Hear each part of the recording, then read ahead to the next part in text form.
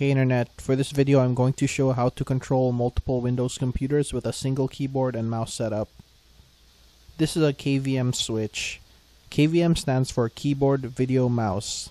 Mostly people working in IT know about this neat device, but it's actually useful for tech-savvy people who have multi-computer setups at home too. I actually got the idea to make this video because a friend of mine used separate keyboards for his multi-computer setup. He actually didn't know this existed. So this video is a service to anyone like my friend who didn't know such a device that allows a single keyboard and mouse to control multiple computers exists. This is an IOGEAR 4-port KVM switch. What this does is let you plug a keyboard and a mouse to control up to four different computers with the flick of a switch. It also has a video port so you can use a single monitor to view those computers. This particular KVM switch uses a VGA port, however there are more expensive KVM switches that use HDMI. Alright, let's unbox this real quick. So this is the KVM switch. Two USB and one VGA port. In the back there are wires that connect to multiple computers USB port that allow it to use anything connected in the front, usually keyboard, mouse, and video. This is the control switch. Pressing it switches between which computer you want to control. A green light indicates which computer is being controlled. I will show how this works later in the video.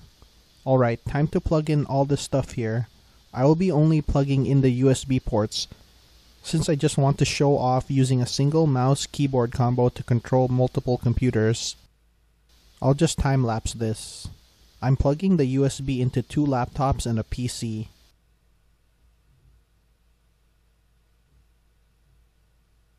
Alright, plugging in the receiver for my wireless keyboard and mouse to control all three computers.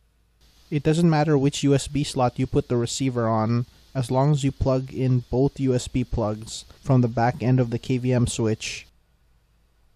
I'm going to time lapse this part since the computers are installing the drivers for the KVM switch, keyboard, and mouse. I'm now controlling the PC displayed on the TV screen.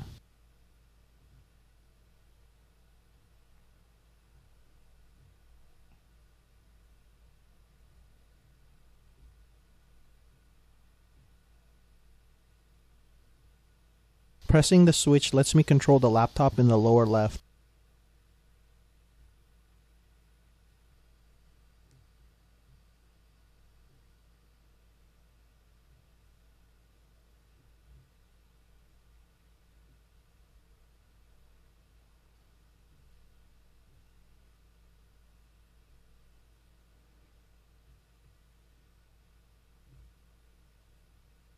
Pressing the switch again lets me control the lower right laptop.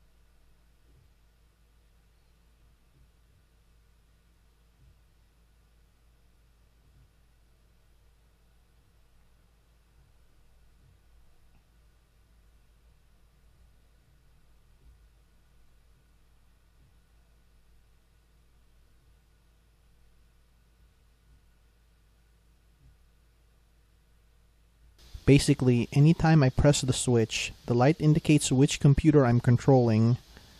Depending on how your KVM switch is set up, you'll be able to remember which light indicates which computer. KVM switches are really useful for anyone running multi-PC setups, not just IT people. Also, KVM switches are pretty cheap. I think the lowest I've seen a KVM switch is $15 on Amazon. So if you're running a multi-computer setup, Sell those extra keyboards and get a KVM switch. And that's it. Hope you found this video useful. Thanks for watching.